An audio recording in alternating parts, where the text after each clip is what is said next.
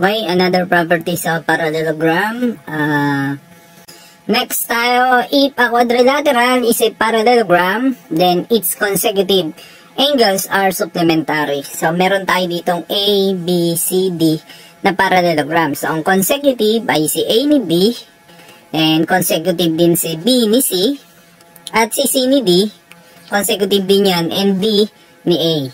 Now, meron tayong given dito na angle A is equal to 2x plus 25 degrees. I mean, plus 25 in degrees and 3x minus 5 in degrees. First, hanapin natin yung value dyan ng x. Then, to solve for the value of x, uh, sinasabi ng properties na yung angle, consecutive angles, are supplementary. So, si angle A plus angle B is equal now to 180 degrees dahil ang supplementary is uh, 180 degrees in measure. Since yung given sa angle A natin dito is 2x plus 25 and plus yung angle B natin is 3x minus 5 is equal now to 180. Then, i-add lang natin lahat ng like terms sa left side. 2x plus uh, 3x is equal to is equal to 5x. Then, uh, 25 minus 5 is 20 is equal to 180 degrees. Then, lipat natin si 20 doon, magiging minus 20. And we have 5x is equal to 160. And, di-divide natin both side by 5. So, cancel. Then, x now is equal to 32. Then, the value of x is 32.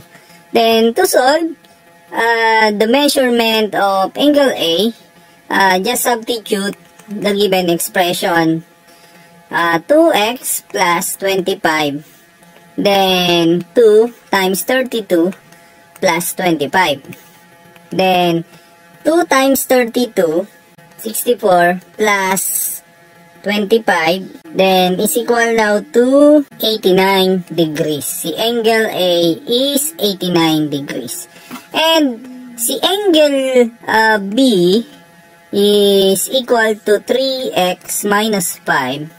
Substitute natin si 32 sa x. 3 times 32 minus 5 is equal now to, okay, 3 times 32 is 96 minus 5. Now, okay, si 96 minus 5, ang sagot natin is 91. Now, ito yung measurement ni angle B. Then, when we add the angle A plus angle B is equal to 180. So, add natin 89 degrees plus 91 degrees is equal to 180.